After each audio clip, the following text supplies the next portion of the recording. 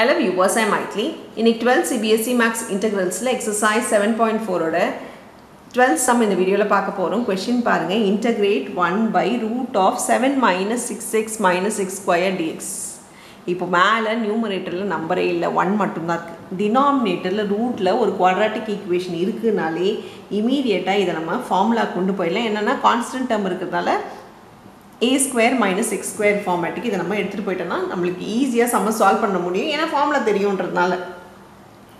இப்போ இன்டகிரேஷன் பாருங்கள் அதுக்கு முதல்ல என்ன பண்ணணும்னா மைனஸ் சைன் இருக்கக்கூடாது எக்ஸ் ஸ்கொயருக்கு ஸோ செவன் மைனஸை வெளில எடுக்கிறேன். மைனஸை வெளில எடுத்தால் x square plus six x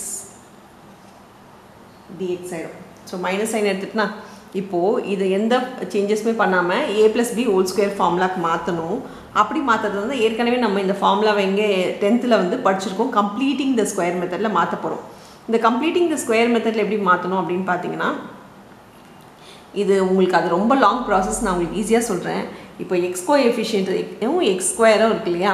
இதில் a plus b whole square மாற்றி இருந்தால் எக்ஸ் ஸ்கொயர் எக்ஸோட கோஎஃபிஷியன் டிவைடட் பை டூ தான் உங்களோட பி ஏன்றது எப்போவுமே எக்ஸ் தான் இந்த சம்மில் பொறுத்த வரைக்கும் எனக்கு ஸ்கொயர் இருக்கிறதுனால. பின்றது x coefficient sixth divided by two தான் பி அப்படி பார்த்தா த்ரீ வருமா? So integration one by root of seven minus a plus b the whole square ஆனால் கூட என்ன எழுதணும்னா மைனஸ் பி ஸ்கொயர் எழுதணும். மைனஸ் பி ஸ்கொயர்னால் மைனஸ் த்ரீ ஸ்கொயர் நம்மளுக்கு நைன் ஆகிடும் ஸோ கண்டிப்பாக என்ன பண்ணணும்னா a plus b whole square ஆகிடணும் minus nine ஆகிடணும் இந்த சம்மில் என்ன தப்பு பண்ணுவாங்கன்னு சொல்லிடுறேன். இப்போ நம்ம மைனஸ் நைன் நான் எழுதிட்டேன் இல்லையா?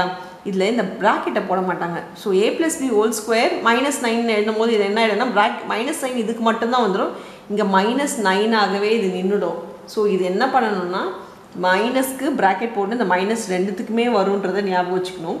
அப்படி பண்ணுறது வந்து one by root of seven minus x plus three the whole square plus nine ஆகிடும் டிஎக்ஸ் இதை நம்ம சால்வ் பண்ணுறதா இருந்தால் one by root of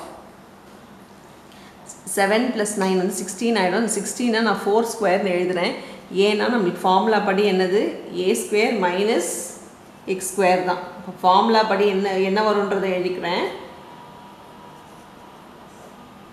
Dx by root of a square minus x ஸ்கொயரில் இது இருந்துச்சுன்னா ஃபார்முலா வந்து sine inverse x by a plus c so இதுதான் இதுக்கான ஃபார்முலா ஸோ டேரெக்டாக ரொம்ப ஈஸி தான். இதுக்கு என்ன பண்ண போகிறோம் நம்ம? சைன் இன்வர்ஸ் எக்ஸுக்கு பதிலாக இங்கே இருக்கிறது எக்ஸ் ப்ளஸ் த்ரீ ஏக்கு பதிலாக இருக்கிறது ஃபோர் ப்ளஸ் சி தான் ஃபைனல் இன்டகிரேஷனோட ஆன்சர் அவ்வளோதான் இந்த சம் தேங்க்யூ